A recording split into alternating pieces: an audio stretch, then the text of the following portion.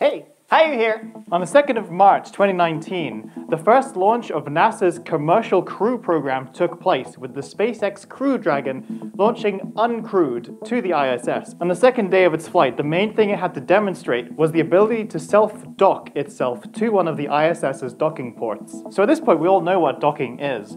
When a spacecraft comes along to a station or another craft, and the two manage to attach themselves together so that people can go in between. But how does it work exactly? Well, all spacecraft docking done today is done automatically, where the ship controls itself. Of course, if there's some problem with the automatic docking sequence, the astronauts on board can take control of it and manually control the ship. Otherwise, if there's no one on board, someone on the other ship can remotely control that ship. That's how we do it these days. At first, what the spacecraft need to do is to line up their docking ports so that they're in line with each other. And then they have to approach each other very slowly until they gently touch and then they can just leave the docking ports to do their thing. Say you have a spacecraft approaching the International Space Station. These days, the space station has GPS on board, and it sends its GPS data to the other spacecraft, which then compares its own GPS data to that data to figure out where it is positioned relative to the station at any given time. Now because they are in orbit, that means that these two craft are actually traveling in two slightly different circles. So at any given time, even if they start really still, they will eventually start to drift. And that future path of drifting could end up with them colliding, so they have to be really careful where their future path is going to be. The approaching craft fires its thrusters to slightly change the circle that it's moving in so that the drifting actually takes it closer toward the station in a safe manner. Then it uses a series of rangefinders and cameras to look for precisely placed reflectors on the other ship's docking port in order to line itself up. So let's talk about how some of these docking port mechanisms work then.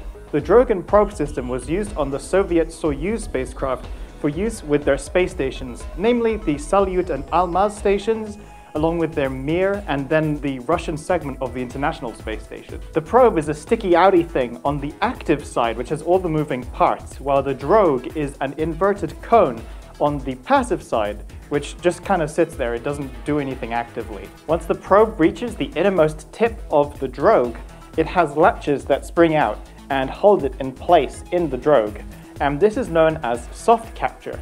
The spacecraft then pulls its probe inward, also pulling itself toward the drogue and toward the other craft, until the two docking rings of the two craft meet, and then the hooks can be driven from the active side into the passive side, firmly securing the two together, and this is known as a hard dock. At this point, the two spacecraft are firmly attached, so they can start thinking of equalizing the pressure on both sides, then opening the hatches and letting people through.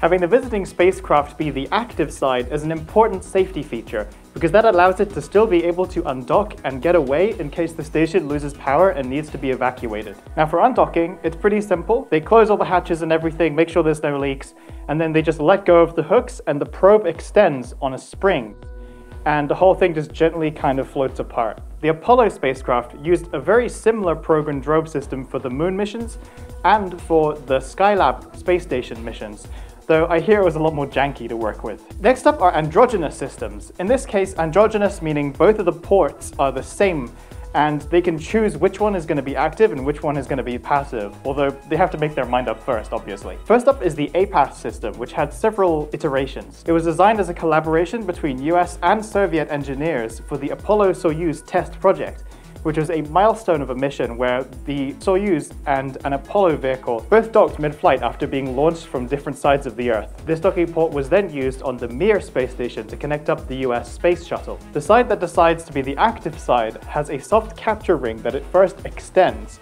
and that's attached with shock absorbers. That ring also has three metal guides, known as petals, that help it physically line up with the other ring as the two come together, and the petals have these latches on the back of them that gently hold the two in place. When soft capture is achieved like this, then what the active port does is it starts to pull in its soft capture ring until the two docking ports rings can touch, and then the active side drives the hooks through to latch onto the passive side, and the two are now hard docked. Next up, we have the International Docking System Standard, which is the new standard for docking things in space. It's public domain for a change, which is really nice, so anyone can build a spacecraft to these specifications. NASA's version of this docking port design actually has electromagnets around the soft capture ring helping reduce the impact of docking even further. The standard also includes provisions for transferring data, electrical power, and later even propellants. And that's really useful for helping visiting spacecraft to last longer on orbit by providing electrical power from the station's power system. And even in the future, being able to facilitate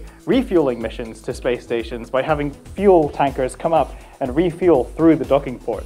So that's really cool. Now I need to make a quick note here for a really weird case that happened in the 70s. During the Apollo-Soyuz test project I mentioned earlier, there was a major problem in that the two craft didn't just have different ways of doing things, they also had different atmospheres. The Soviet Soyuz used a normal air atmosphere made of nitrogen and oxygen at high pressure, whereas the Apollo command module used pure oxygen atmosphere at a very low pressure. Now if you were to go from the low pressure atmosphere to the high pressure atmosphere very quickly, you would get a sickness known as the bends, in which nitrogen bubbles in your blood expand and cause damage around your whole body.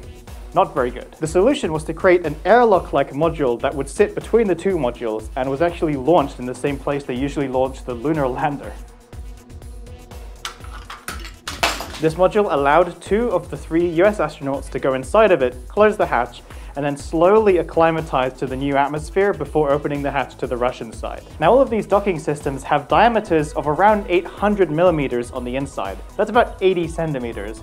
Not very much, is it? The reason for this is because thermal expansion of the metal that they're made of is a major issue. Often during a docking, one of the spacecraft is fully in sunlight for quite a while, while the other is fully in shadow on its docking port side. So you can imagine one has a much higher temperature on its docking port than the other. The docking port that's hotter is going to be a slightly bigger than it should be due to thermal expansion. So to minimize the significance of this error in size, they keep the docking ports nice and small, so they can't expand quite as much. Now with docking, the ship comes along, approaches, and docks under its own power. But with berthing, it's a little different. It needs a little bit of help.